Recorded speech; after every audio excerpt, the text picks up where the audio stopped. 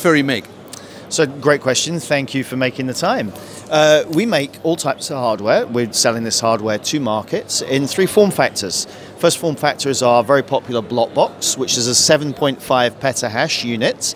And you can a complete container, 44 feet with 7.5 petahash. Petahash. Yeah. It's almost like I've paid you to do this. Yeah. It's a Bitcoin mining system in a box. Yeah.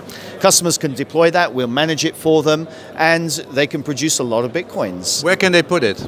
Uh, they can put it in any of our data centers in Canada, for example, or in Norway very soon. And we manage the entire affair for them so that the customers can have a completely hands-off experience knowing that Bitfury's fully trained staff uh, helping them produce Bitcoins. Yeah, and original, and the, the thing, interesting thing is they are under oil. Huh? It's not the, the, these, uh, these, these uh, in, inside are these processors, they're not in air, but they're in oil. Ah, in some of our technology, in our own data center, we do have indeed immersion cooling units. Yeah. But in the units that we provide to our customers, they are still traditionally air cooled, simply because they're very reliable. Yeah. Uh, and if the customer eventually wants to remove this unit and deploy it at their own location, it makes it a more manageable solution for them. Okay. You're originally from I'm originally from the UK. No, no, no. The, the company, Bitfury. Bitfury. Bitfury comes originally from. So Bitfury is in 14 countries around the world. We're about 300 people. We're one of the most distributed companies that you might come across. Our headquarters are in Amsterdam, and we manage all of our customer relationships out of that headquarters. Okay.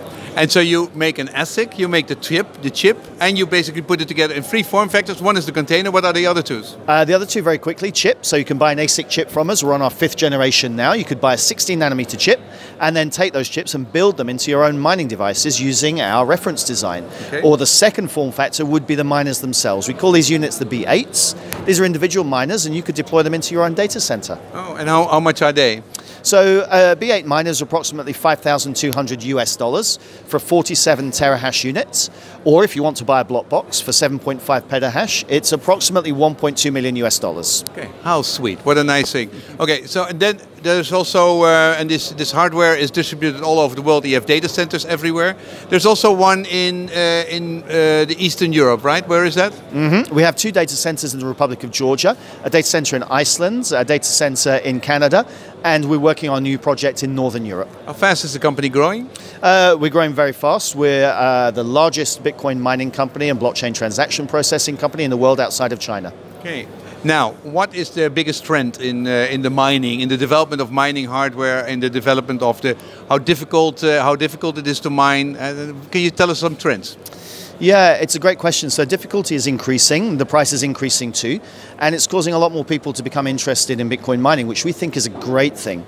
We're actively making our technology available to as wide a number of people as we can, because we've got a strong and passionate belief that the bigger the ecosystem, then the better it will be for all of participants. So we've taken an active strategy to try and share our technology with as many people as we can. Okay. Now there are a couple of other cryptocurrencies, you know, outside outside of uh, uh, Bitcoin? There are more than a couple. Yeah, a couple of them. Uh, you're not involved in that market yet. Why not?